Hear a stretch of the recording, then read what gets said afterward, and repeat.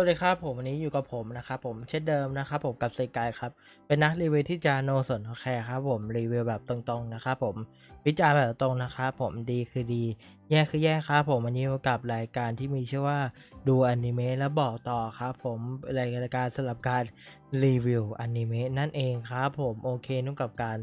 รีวิวอนิเมะในซีซั่น summer 2022 นะครับผมเรื่องที่ สี่ครับผมก็เรียกว่าซีซั่นนี้ก็ยังมีอนิเมะที่เราจะรีวิวประมาณมากมายประมาณ 13 เรื่องนะถ้าจะไม่ผิดนะ 13 เรื่องนะครับผม 12 เรื่องใช่ก็ได้ถือว่าซีซั่นนี้ค่อนข้างที่จะรีวิวน้อย เพราะว่าอนิเมะในซีซั่น summer ไม่ค่อยมีอะไรที่น่าสนใจเท่าไหร่ แล้วก็บทสรุปรวมกลายเป็นซีซั่นที่น่าเบื่อนะครับเอาสับต่อซีซั่นนี้ก็เลยแบบรีวิวน้อยหน่อย 12 เรื่องครับแต่ว่าก็มันก็มีแต่ละเรื่องที่แบบมีความน่าสนใจที่เราเอามารีวิวกันนะครับเราก็ต้องดูว่า ใน 12 เรื่องเนี้ยมันมีอนิเมะที่ดีแย่อะไรในในยังไงก็เรามาฟังกันเลยนะครับผม โอเค เรื่องทีสี่ 4 นะครับผมที่เราจะ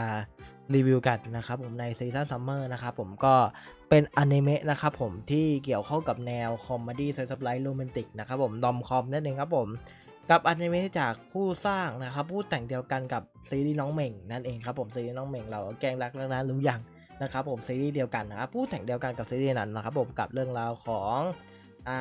าเรื่องราวของนะครับรุ่นน้องมุมมือใหม่ด้านโชกินะครับมุ่งมั่นในตั้งใจที่เอาชนะนะครับรุ่นพี่ที่เป็นประธานนะครับผมโดยเขาจะตั้งใจบอกเขามรู้สึกเมื่อเอาชนะรุ่นพี่ได้นะครับแล้วก็ดันแล้วก็แข่งขันด้วยโชติ แล้วก็มีเรื่องราวที่แบบว่าลุกการเข้าหาอย่างหนักเพื่อแบบเป็นแนวความรักอะไรต่างที่เรียกได้ว่า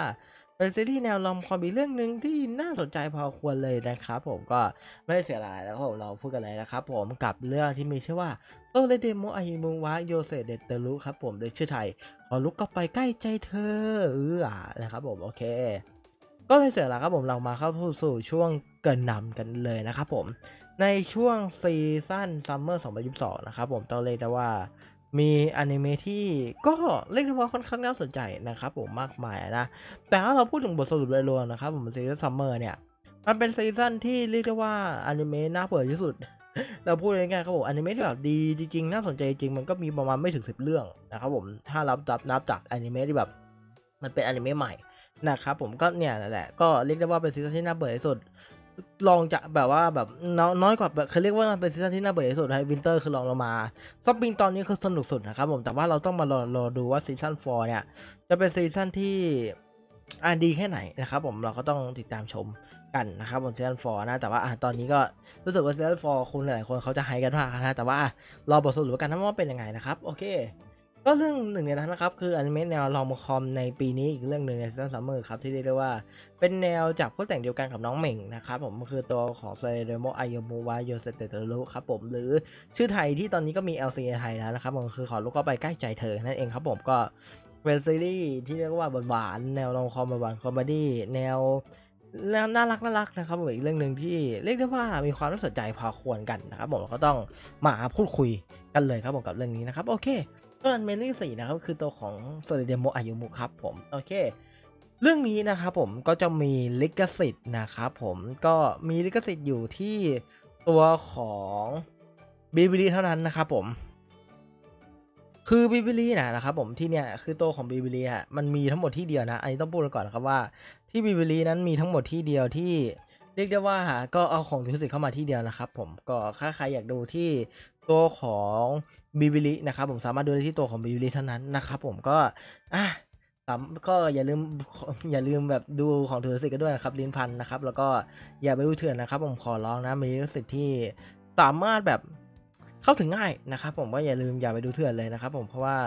เออก็ความรู้สึกผมนะครับ ผมดูเองสนุกกว่าเยอะนะนะครับ ผมตามนั้นดูเองดีกว่าเยอะเลยครับ ผมตามนั้นคือ ถ้าเราแบบไปแบบดูผิดลิขสิทธิ์ขึ้นมาแบบว่า คือมันมันก็แบบมีของลิขสิทธิ์นะก็เลยแบบว่า เออ ก็ขอร้องอะดูกันหน่อยเถอะนะครับผมตามนั้นแล้วก็เรื่องนี้เป็นพรีเมียมนะอะอย่าลืมบอกก็เสียตังค์ดูนะครับ ก็เสียตังค์ให้ของลิขสิทธิ์มันจะดีกว่านะครับ ผมตามนั้นโอเคก็ขอบคุณมากสำหรับตัว Bilibili นะครับผม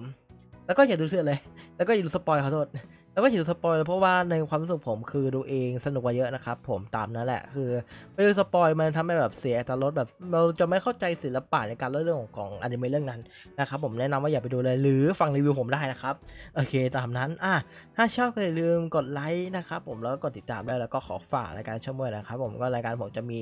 อย่างที่เห็นณตอนนี้นะครับผมก็ตามนั้นแล้วแต่ถ้าคุณไม่ชอบก็กดไลค์แล้วกันนะ เออไม่ชอบก็กดไลค์อะไรต่างๆตีเตียนก็ได้ไม่ว่าอะไรกันครับ ผมก็อย่าลืมลองไปดูคลิปของผมนะครับผมถ้าชอบนะถ้าไม่ชอบก็กดติดตามไว้นะครับ ผมจะได้มีอะไรที่พัฒนามากขึ้นนะครับ ผมก็อย่าลืมดูกันด้วยนะครับ ขอขอบคุณมากที่ติดตามมากันอยู่ทุกวันนี้นะครับ โอเค มาพูดถึงเรื่องของความคาดหวังของซีรีส์นี้เนี่ยครับผมซีรีส์นี้เป็นซีรีส์แนวลมคอยเรื่องหนึ่งในปีนี้ที่เรียกได้ว่า อืมคือในปีนี้อะ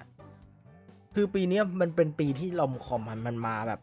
คือเรียกได้ว่ามันปีลอมคอมอะถ้าคุณเห็นแบบสมัยก่อนแบบไม่ไม่หลายปีก่อนอาจจะเป็นแบบปีต่างโลกใช่ไหมแต่ปีเนี้ยนะครับผมเป็นปีที่ลอมคอมอะแนวลอมมิติกอะมันจะเยอะกว่าแนวต่างโลก เพราะต่างโลกในปีนี้มันดูแบบ เออเออมันมันก็มีเรื่องดีนะแต่แบบมันก็มีเรื่องดีบางเรื่องอะแต่แบบ เออปีนี้แนวต่างโลกคือแบบง่อยมากอะเดี๋ยวรอดูปีหน้าปีหน้านี่น่าจะรู้สึกว่าปีหน้าจะเป็นปีที่กลับมาแนวต่างโลกแล้วนะครับผมก็เยอะเต็มไปหมดเลยสิบกว่าเรื่องแล้วตอนนี้ที่ประกาศมานะครับ แต่ว่าแนว romcom ในปีนี้ก็ผมพูดจากใจเลยว่าตั้งแต่ดูตัวของ winter กับสปริงมา ผมรู้สึกว่า แนว romcom อะดีๆ มันก็มีไว้แต่รู้สึกว่ามันก็ในด้านของการเล่าเรื่องแนว romcom ในต่างมันอาจจะยังไม่ถึงขั้นแบบดีโดนใจขนาดนั้นนะครับผมไม่ถึงขั้นดีโดนใจนะก็มีแบบเรื่องที่มันโอเค หรือเรื่องที่มันดีมันก็แบบน้อยจริงๆนะครับผมจากใจผมว่านะโอเคนะครับผมส่วนเรื่องนี้ถามว่าผมคาดหวังอะไรไหมถ้าคาดหวังจากผู้แต่งเดียวกันกับซีรีส์ของน้องเมงอะผมก็พูดนะครับผมว่าผมไม่ได้ถูกผมไม่ได้รู้สึกแบบ ชอบซีรีส์นี้ขนาดนั้นอะเราทุกคนเราไม่ได้คาดหวังกับตัวซีรีส์นี้ขนาดนั้น เพราะว่าถ้าเป็นจับผู้แต่งน้องเหม่งอะถามว่าผู้แต่งน้องเหม่งอะมันดีไหมเรื่องน้องเหม่งอะดี แล้วผมขอรู้ก็ไปใกล้ใจเอ้ไม่ใช่นะนะแกงรักนาอยู่ยังอะไอเรื่องนั้นมันเรื่องที่มันมันหวานเลยแล้วเว้ยแต่เรื่องนี้มันเป็นเรื่องที่บอกว่าเราดูคอนเซปต์เราก็รู้แล้วว่ามันคือน้องเหม่งโคนมา แล้วมันทำให้ผมรู้สึกว่า เออ อาจจะเป็นแนวที่อาจจะทำได้ดีได้ แต่ผมรู้สึกว่า มันไม่ได้น่าไว้ใจขนาดที่แบบว่าเราอยากจะดูมันขนาดนั้น ในความคิดผมนะครับในด้านของเรื่องเรื่องราวแต่ขออย่างเดียวคือ ถ้าเป็นซีรีส์นอมคอมอะผมอยากให้ซีรีส์เนี่ยมันเป็นแนวที่นอมคอมที่มันทำได้ดี แล้วมันทำได้แบบหวานๆแล้วมันทำแบบบรรยากาศเราเรื่องแล้วรู้สึกอินกับความรักของพวกเขาอะผมรู้สึกว่ามันจะมีอะไรที่มันดีกว่านี้มันจะเป็นอีกเรื่องนึงนอมคอมเป็นเรื่องหนึ่งที่บอกว่า มันจะดีในปีดีได้เลยนะครับ แต่ว่าอะผมก็ไม่ได้คาดหวังอะไรขนาดนั้น เพราะว่าอยากให้มันเป็นซีรีส์ที่มันดีนะครับผมเพราะว่าผมดูโหรู้แล้วว่า มันเป็นซีรีส์ที่มันแบบมันคือน้องเหม่งโคนมา นะครับผมตามนั้นแต่ว่าขออย่าอย่าไปซีรีส์โคนมาเลยนะครับผมว่าผมดูจากตัวของ trailer ดูจากอะไรก็ตามอะผมแบบมีความกังวลอยู่นิดนึงนะครับผมตามนั้นตัวที่ทำ Silver Link ครับผมก็อย่างที่เห็นแหละ Silver Link ก็ซูโรที่ทำแนวต่างโลกแล้วก็มีอนิเมะที่บอกว่าก็มีอนิเมะที่แบบทำมาเรื่อยๆทุกปีด้วยปีนี้ก็จะทำมามาฮาด้วยนะครับผมแล้วก็เป็นซีรีส์ที่ ในเรื่องที่เขาทำมา ก็ต้องพูดว่าโซ Silver Link เป็นโซที่เรื่องงานแอนิเมชันเราไม่เราไม่ต้องคาดหวังอะไรกับตัวของเขาแล้ว แต่ว่าคาดหวังได้เดียวคือในเรื่องแล้วก็ตัวของอนิเมะนะครับผมตามนั้นแต่ว่าอะเรื่องนี้นะครับ Silver Link ทำก็เรื่องของงานภาพก็จะพอหวังอยู่ได้ แต่ว่าอาจจะแอบมันๆนิดนึงเพราะว่าเอาจริงแล้วเซอร์เวลิงก็ชอบงานงานภาพเผาเกือบบางเรื่องอยู่นะ เอาเรื่องงานถ้าเรื่องเขาไม่แคร์นะครับ แต่ว่าอะเรื่องงานจะอาจจะเป็นเรื่องที่ ตัวของ Silver Link อะทำงานภาพดีก็ได้นะ เราก็ต้องรอดูกันนะครับผมสำหรับตัวของอนิเมะเรื่องนี้นะ โอเค ส่วนด้านของตัวของผู้กำกับนะครับผมแล้วก็ตัวของคนเขียนบทนะครับผมผู้กำกับก็คือตัวของอามินาโตะมิไรจากซีรีส์การแก้แค้นของมาซามาซามุเนะคุงขออภัย Bofuri นะครับน้องโลกสายแทงแก่งเอ่อน้องโลกสายแทงนะครับผมโอเคน้องสายแทงแก่งร้อยอนิเมะ แนวต่างโลกแนวโลกเกมนะครับผมน้องโล่เราก็ใน winter จะมีภาค2ให้ดูครับอย่าลืมไปดูด้วย แล้วก็ซีรีส์ศึกแห่งของเธอกับผมจุดเริ่มต้นของโลกใบใหม่ครับผมแล้วก็เมคิวแล้วก็นี่ อันปีศาจจาฮิครับผมแล้วก็ชีวิตดาของราชาปีศาจที่เหงา แล้วก็เมดคนนี้มีพิรุธครับผมก็เรียกได้ว่า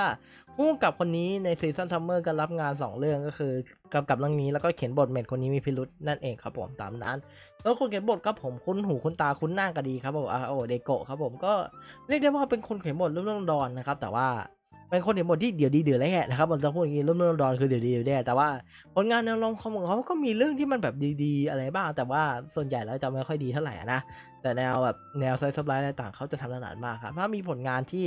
เราน่าจะพอรู้จักกันดีก็คือตัวของอันเขาว่าเตอร์เดอะบิสนะครับผมมีนักสุนทรคันโจแล้วก็มีส่วนในผมแดงแม่มดเล่เปื่อยอัลเตอร์เดอะเลนนะครับผมโนชิกะบุรกันโปรหน่วยไปทำงานวานิตันนักสืบตายแล้วตายทั้งซีรีส์ครับเมคิแล้วก็นี่ มูนันบุญวายขายชาติละกัน ชมงานผู้ไปเก่งกับขอมเพื่อไปเต็มคือโคมิซังนะครับผมแล้วก็แจ็คคิวซังว่ายูจียูเรนี่อีสไตล์ครับผมแล้วก็เอายังไงยาแฟนเก่าบรรดาเป็นสาวแม่ใหม่มาฮะฮะนั่นเองครับผมตามนั้นก็มีผลงานที่ก็เขียนรุ่นดอนมากแต่ว่าในซีซั่นนี้นะครับผมคุณอาโอเดโกะเนี่ยเขาก็เขียนบทสองเรื่องนะครับผมก็น่านจะรู้ดีว่า 2 เรื่องนี้มันเป็นยังไงนะครับผมก็อยากรู้กันนะ แต่ว่าอะก็เลยได้ว่าเป็นคนเขียนบทที่เราน่าจะพอใจได้อยู่แต่ว่า ถ้าดูจากผลงานตั้งแต่ที่ผ่านมาผมสึกว่าอาจจะเป็นการเขียนบทที่อาจจะทำไม่ได้ไม่ดีได้ทำได้ไม่ดีได้ขนาดนั้นเราก็ต้องรอคาดหวังกับตัวของคนเขียนบทนี้แล้วก็ตัวผู้กับผู้กับมันมีประสบการณ์การทำแนวลมคอมมาแล้วไงฉันก็อย่าเป็นเรื่องที่ดีได้นะครับเราต้องรอดูกันนะนะโอเคครับผมก็ตามนั้นอย่างที่เห็นคือผมก็ยังไม่ได้รู้สึกไว้ใจกับตัวของซีรีส์นี้ขนาดนั้นนะครับผมเพราะว่าเนื่องจากเป็นผู้แต่งกับน้องเมงนะนะก็เลยแบบ อาจจะไม่ไว้ใจในด้านที่แบบว่า ถ้าแบบถ้าในตัวของเนื้อหาอะไรต่างมันไม่น่าสนใจผมอาจจะแบบ อาจจะไม่น่าสนใจขนาดนั้นก็ได้นะครับผมตามนั้นแหละโอเค ก็ไม่เสียแล้วครับผมเรามาพูดถึงนะครับผมความรู้สึกหลังจากรับชมนะครับสำหรับตัวซีรีส์นี้นะอะอย่าลืมอย่างหนึ่งไม่สปอยครับคือซีรีส์นี้นะครับผมมันเป็นแนวลอมคอมที่เดี๋ยวผมมาพูดถึงเรื่องย่อให้ฟังนะครับ เรื่องย่อคือตัวของธนากะยมูนะครับรุ่นน้องหนุ่มมือใหม่ด้านของโชกินะครับผมมุ่งมั่นตั้งใจเอาชนะนะครับยา ยาโอโตเมะโอริชินะครับผมรุ่นพี่ที่มีรุ่นพี่ที่เป็นประธานชมรมนะครับผมโดยเขาตั้งใจบอกเขาสึกตนเมื่อเอาชนะรุ่นพี่ได้ แม้แค่ทักษะด้านโชกิเขายังห่างชั้น แต่ทั่วท่าการลุกเข้าหายังหนักหน่วงของอายามุก็ทำให้รุ่นพี่ถึงจนมุมในอีกความหมายครับผมก็เรื่องราวจะประมาณนี้นะครับผมสัตว์ตัวของซีรีส์นี้นะครับผมคือซีรีส์นี้นะครับผมเอาจริงคือ มันเป็นซีรีส์แนว romcom นะครับในซีซั่นนี้ที่ผมก็พูดไปแล้วนะครับ เพราะว่าในซีซั่นนี้มันเป็นซีซั่นที่แบบเออเออไม่ไม่ไม่ไม่พูดเยอะใช่ไหมคงคงรู้กันดีใช่ไหมว่าซีซั่นนี้เป็นไงแต่แบบก็อยากรู้กันนะครับผม คะแนนใน MAL นะครับ 7.46 นะครับผม7.06อย่าเลยบูดวิดจากตอนแรกคะแนนมาตอนแรกประมาณ 7.47หน้า3ตอนแรกแต่ว่าลงมา 7.06 เพราะสาเหตุมันคืออะไรครับ ลงมา 4 ขนาดเนี้ย มันจะลงไป 6 แล้วเพราะว่าอะไรนะครับผม น่าเบื่อครับ แค่นั้นเลย แค่นั้นเลยครับผม มันมันเป็นเป็นซีรีส์มันเป็นซีรีส์แนว romcom เป็นเรื่องหนึ่งนะ Soredemo เนี่ยเป็นซีรีส์แนว romcom อีกเรื่องหนึ่งที่มันพอดูได้แต่ มันไม่มีเนื้อหาที่น่าสนใจเลยครับ มันมันแค่แนว romcom ธรรมดาเรื่องนึงที่แบบมีเรื่องราวที่บอกว่าไอตัวของตัวของไออายุมุเนี่ยไอตัวของพระเอกเราเนี่ยไออายุมุเราไปไปรุกใส่อุลุชิแล้วมันหน้าเขินเนี่ยแล้วดีไซน์หน้ามันจะคล้ายกันเพราะว่าผู้แต่งเดียวกันเราเข้าใจอยู่ครับแต่ว่าความรู้สึกบรรยากาศอะมันมันมันเหมือนที่ผมคิดไว้แต่ตอนแรกคือ มันคือน้องเหม่งเวอร์ชันโคลนอะมันคือมันคือเนื้อเรื่องน้องเหม่งเวอร์ชันโคลนที่ทำเนื้อเรื่องได้ด้อยกว่า เพราะว่า ถ้าเราพูดถึงเปรียบเทียบกับเสน่ห์ของน้องเหม่งกับเสน่ห์ของอายุมุอะคือเสน่ห์ของน้องเหม่งอะต้องพูดก่อนนะว่าน้องเหม่งไงที่มันดีได้เพราะมันมีเรื่องราวของการแกล้งกันและเรื่องราวการสร้างบรรยากาศที่มันก็ค่อยบิวหมาไงแต่เรื่องของอายุมุอะผมก็ไม่รู้กันว่าจะมีซีซั่นสองต่อไหมเพราะว่าเอาตรงจากใจถ้าเทียบกับภาคแรกเนี่ยเทียบกับตัวของอายุมุเนี่ยกับเทียบกับน้องเหม่งอะผมก็พูดไปเลยครับบอกว่าน้องเหม่งทำได้ดีกว่าในภาคแรกอาจากใจเลย ในเรื่องของบรรยากาศการแกล้งกันบรรยากาศของ การหยอดความรักกันเรื่อยๆที่มันแบบมันดูหวานจริง ๆ อะ แต่อันนี้แต่ตัวของ Soredemo อะมันเป็นหวานในเวอร์ชันที่แบบว่า มันหวานเลี่ยนแล้วมันก็มีความเป็นโคลนน้องเหม่งมาพอควรเลยสำหรับตัวซีรีส์นี้นะครับผมและอีกอย่างหนึ่งคือ แนวละครเรื่องนี้มันเหมือนกับซีซั่นที่แล้วนะครับมันจะมีบางเรื่องที่แบบว่ารุ่น ตัวตัวแบบตัวรองดีกว่า โดยเฉพาะคู่ของตัวของไอซากุระโกะแล้วตัวของทาคารุเนี่ยทาคิรุเนี่ยคู่ซากุระโกะน่ารักมากเออคู่แบบหวานชิบหายคือแบบว่าแม่งแบบแม่งแบบทำเนื้อเรื่องได้ดีกว่าคู่หลักอะแต่ที่ว่าคู่หลักแม่งแบบแม่งคือตัวชูโรงอะแต่ว่าในด้านของเนื้อหามันมันก็คืองานงานอะมันคือแนวหวานที่มันแบบมางานมากก็มีตัวตัวละครผู้หญิงมามาแข่งขันกับตัวพระเอกเรื่องโชกิอะไรจ้ะแต่ว่า ก็มันก็มีอยู่แค่นั้นนะเดี๋ยวเขาตัวละครมาแบบมาคอยใจช่วยนางเอกว่าแบบตัวของลูชิว่าเป็นยังไงตัวรุ่นน้องเนี่ยเป็นยังไงนะอะไรอย่างเงี้ยก็มันก็มีอยู่แค่นั้นไว้เรื่องราวเนี่ยมันคือเรื่องราวหวานๆที่ธรรมดานะครับผมไม่มีอะไรเลยนะน่าสนใจมันไม่มันไม่มีอะไรน่าสนใจเลยครับผมมันมันง่ายง่ายมันคือแนว romcom ที่มันคือ slice of life จ๋าเลย มันคือความ slice of life อะเขาไม่เน้นความ romcom ขนาดนั้นมันคือ slice of life ชีวิตชีวิตประจำวันของ สองคนที่มาเป็นความมาเป็นคู่รักกันอะมันคือประมาณเลยครับผมตัวกับกับตัวของซีรีส์ของไออายุมุอะ คือซีรีส์นี้ผมพูดนะครับมันไม่มีอะไรเยอะไม่มีอะไรพูดเยอะจริงๆนอกจากว่าไม่ธรรมดามันธรรมดาได้ที่บอกว่ามันไม่มีเรื่องคุยเลยอะมันไม่มีเรื่องที่เราจะพูดถึงความรู้สึกเลยว่าซีรีส์นี้เป็นอะไรนอกจากว่ามันก็คือแนวหวานหวานหวานหวานหวานแล้วก็แนว romcom เฉยๆแล้วโรแมนติกเรื่องแล้วคอมเมดี้เรื่องนี้ก็ไม่ได้มีซีนที่มันรู้สึกขำมากขนาดนั้นมันคือแบบขำแบบแห้งๆอะที่จริงซีรีส์ romcom อะ ถ้ามันถ้ามันโอเคจริงอะมันควรจะเป็นซีรีส์ที่มันว่ามันทำให้เรารู้สึกขำกับมุกหรือแบบทำให้เรารู้สึกอมยิ้มกับมุกได้ แต่เรื่องนี้คือแบบว่าแม่งเงียบมาก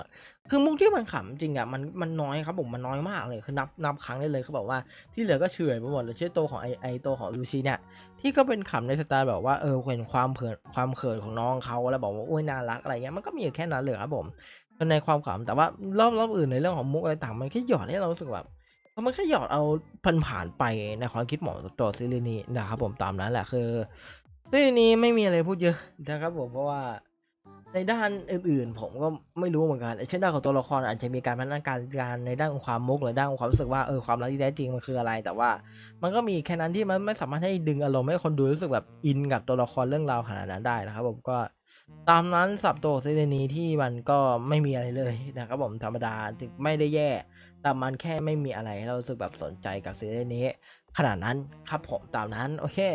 ไม่มีอะไรพูดเยอะครับผมด้านด้านของเรื่องนี้นะอาจจะจบประมาณ 20นาทีได้ครับผมไม่ง่ายเลยซีรีส์นี้เรื่องของงานภาพนะครับผม งานภาพเรื่องนี้นะครับผม Silver Link ถามว่าทำได้ดีไหมทำทำได้มาตรฐาน Silver Link เออเรื่องนี้ทำได้มาตรฐานดีนั่นที่เขาไม่เผาอะเรื่องนี้งานเมชั่นทำได้โอเค แล้วก็รู้สึกว่าเอองานเมชั่นมันค่อนข้างที่จะทำได้ดีในด้านของความ romcom ที่มันรู้สึกแบบเออก็พอใช้ได้ในด้านของไอเรื่องของงานแอนิเมชันนะครับผมแต่ว่า Silver Link มันเคยทำผลงานที่เป็นแบบ มันดีกว่านี้เออมันเคยทำผลงานที่ดีกว่านี้ได้ ก็เราดูว่าในอนาคตทำผลงานได้ดีไหมแต่ว่าณตอนนี้คืองานของ Soredemo มันมันธรรมดานะครับผมมันไม่ได้มีอะไรขนาดนั้นนะโอเค ตัวด้านของซาวประกอบนะครับผมนักพากย์ก็เรื่องของนักพากย์นะครับผมก็จะมี ตัวของนักพากย์ทั้งหมดอันนี้นะครับผม Ayumu จะเป็นตัวของอาเซคามิโยเฮครับผมอาอุรุชิครับผมคันนานากามุระนะครับผมอาคาวะลินนะครับผมมีคาวะฮารุนะครับผมมากิครับผมฮานาซาวะคันนานะครับผมคันนาซาวะอะไรแหละมากิแล้วมีตัวของซากุระโกะนะครับผมเอ่อโยมิยะฮาฮินะนะครับผมทาเครุนะครับผมโกลเด้นซูบะสะครับผมนักภาคนะครับผมก็ภาได้ ดีทุกตัวละครเอาเรื่องอยู่นะ เออภาคได้ดีเลยนะครับผมถึงแม้ว่ามันจะมีแค่ที่เราเห็นนั่นแหละ ถึงแม้จะไม่มีภาคไทยหรือว่ามีวะ แต่นักพากย์เป็นเวอร์ชันพากย์ญี่ปุ่นนะครับผมพากย์ได้ดีเลยครับผม ผมเออพากย์ได้ดีเลยครับผมพากย์ได้ดีตามมาตรฐานแหละเราพูดง่ายๆเพราะว่าผมก็ไม่ค่อยด่าเรื่องนักพากย์นักพากย์เท่าไหร่กับนักพากย์หน่อยเว้นเรื่องกันเท่าไหร่นอกจากว่ามันจะพากย์ไม่ดีจริง แต่ว่านานๆทีจะเจอเรื่องหนึ่งนะครับแต่ว่าเรื่องนี้ก็พากย์ได้ตามมาตรฐานจริงๆครับผมตามนั้นโอเคตัวเพลงเปิดเพลงปิดนะครับผมเพลงเปิดของตัวของใคร Kakehiki wa Poker Face นะครับเลยตัวของ Kana Hanazawa นะครับ Kana มันร้องเพลงเว้ยคือถามว่าเพลงมันดีไหมเพลงมันในวหวานนะผมใส่ๆที่มีฉากสองคนนี้เต้นกันนะครับนางเอกนางเอกนางเอกนางเอกเต้นกันก็แนวหวานแนวแบบโอ้ต่อ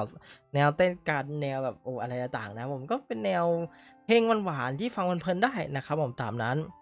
แล้วก็เพลงปิดครับผม 50เซนติเมตรครับผมว่าไม่รู้คืออะไรกันนะ 50 cm เนี่ย 50เซนติเมตรโดยตัวของยาโโตเมะอุรุชินะครับผมก็นักคณะนักกำมลามาร้องเพลงนั่นแหละครับผมตามนั้น โอเค ใช่ไหม Kana ตามนั้นก็นางเอกเรามาร้องเพลงกันแหละ ก็เพลงปิดโอ้เพลงปิดผมชอบมากกว่าเพลงเปิดเยอะเลยนะ เพลงปิดเป็นแนวแบบหวานๆที่ฟังเพลงได้เพลินมากอันนี้ อันนี้ อันนี้ดีจริงครับผม อันนี้แบบ อันนี้แบบก็ชอบเอาเรื่องอยู่นะ อันนี้คือเอาเรื่องอยู่นะครับคือชอบอยู่นะครับเพลงปิดเนี่ยนะครับโอเคตัวด้านซาวประกอบคือตัวของ Narita Shun ครับจากเซรีโนเบตนะครับอ่าซาวประกอบเรื่องนี้แนวซาวประกอบธรรมดาครับผมแนวแบบซาวประกอบที่เข้ากับอนิเมะเรื่องนั้นดีไม่ได้เป็นซาวประกอบที่เรารู้สึกติดหูหรือบิวอารมณ์ให้เรารู้สึก in กับบรรยากาศเรื่องนั้นได้พอควรแต่ว่าเป็นซาวประกอบที่มันแบบมันก็เข้านะมันก็แบบเข้ากับอนิเมะเรื่องนั้นดีเป็นซาวประกอบที่มันโอเคนะครับผมเป็นซาวประกอบที่ก็ตามนั้นอะมันก็โอเคนะครับผมโอเคนะอ่า อาละเรามาสรุปคะแนนของซีรีส์ Soredemo Ayumu wa Yosetekuru ครับผมโอเคอ่า Soredemo นะครับผมเป็นแนว comedy slice of life romanticับเรื่องราวของอ่าตัวของอายุมุนะครับผมมือใหม่นักโซกีแล้วก็จะเอาชนะอุรุชิเพื่อจะเป็นแบบบอกรักเขาแล้วก็แบบ การเข้าลุกตลอดสองคนก็เป็นเรื่องราวความรักหวานๆที่ก็ไม่มีอะไรน่าสนใจมันคือน้องเหม่งโคนที่ไม่มีเสน่ห์ของตัวลกไม่มีเสน่ห์ด้านตัวเองมากกว่านั้นมันคือแนวธรรมดาที่พอดูได้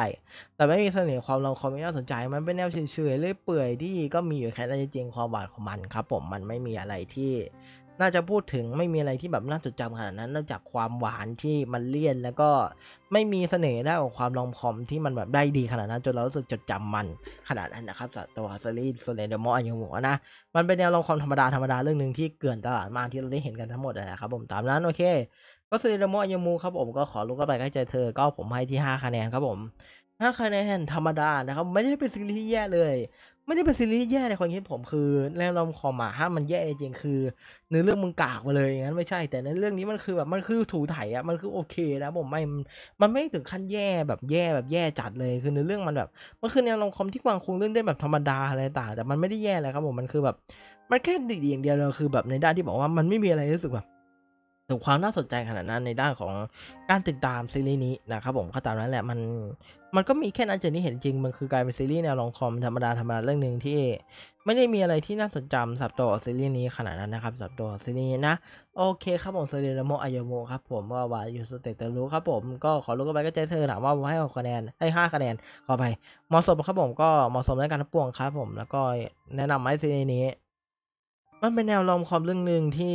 ไม่ค่อยแนะนำเท่าไหร่นะครับซีรีส์นี้เพราะว่ามันงานมันธรรมดามากแต่ถ้าดูเอาเพื่อแบบฆ่าเวลาต่างก็พอดูได้อยู่แต่ว่าผมรู้สึกว่ามัน มันธรรมดาไปหน่อยไปดูแนว romcom เรื่องอื่นที่มันแบบมันยิงมุก มันยิงความสบายมันยิงความโรแมนติกได้ ดีกว่านี้ผมว่าจะดีกว่านะนะครับผมตามนั้น โอเค Soredemo Ayumu ครับผมก็ 5 คะแนนเต็มสิบครับผม โอเค ก็จบแล้วสำหรับการรีวิว episode นี้ครับกับรายการ ดูอนิเมะแล้วบอกต่อครับผมก็ถ้าชอบเลยตามด้วยแล้วก็ขอฝากรายการชมด้วยครับผมก็เรื่องต่อไปก็เจอกันกับอนิเมะการรีวิวใน season summer 2022ครับผมโอเคก็ EP นี้ขอตัวไปก่อนครับผมพบกันใหม่กับตอนหน้าครับบ๊ายบายจ้า